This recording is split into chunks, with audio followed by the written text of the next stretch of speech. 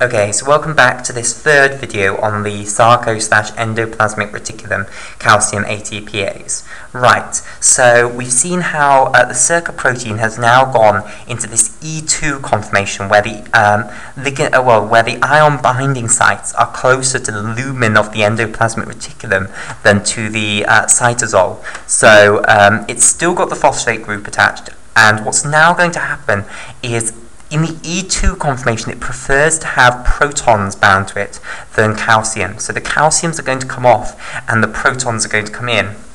So the calciums are going to go off into the endoplasmic reticulum lumen and the protons are now going to bind in here.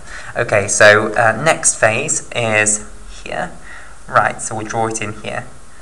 So here's the membrane again, here's the protein, and now it's still in the E2 uh, conformation, and it's still got the phosphate group bound to it, but now it's got uh, three protons bound in here. And again, the protons don't get named in the name of this, uh, this stage of the process. So now this stage is known as just E2P.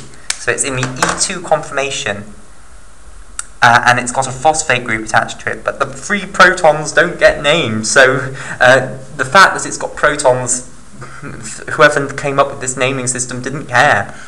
Right, so now uh, what happens is that the phosphate group falls off. Once the protons bind, the phosphate group falls off. So uh, what happens is that you go temporarily into this conform into this state.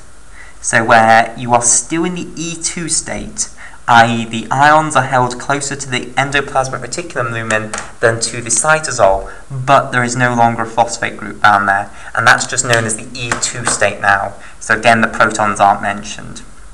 Okay, and then what happens is that now the phosphate group's fallen off, it doesn't it doesn't want to be in the E2 conformation anymore. It's going to return back to the E1 conformation because it was the phosphate group that forced it into the E2 conformation in the first place. So once the phosphate group on that aspartate residue falls off, then um, the it, it, returns back to its original conformation and it drags those protons back up to face the cytosolic and uh, um, cytosol, and now what happens is that the proton's uh, affinity for binding there is lower than calcium, so calcium is going to come and displace it, and the whole cycle will repeat again. And that is how the SERCA swaps um, free protons being moved out of the lumen of the endoplasmic reticulum or sarcoplasmic reticulum for the movement of two calcium ions into that endoplasmic reticulum, and it's coupled to the hydrolysis of ATP into uh, ADP here, and then the phosphate group is going to come off, so the phosphate group's here maybe.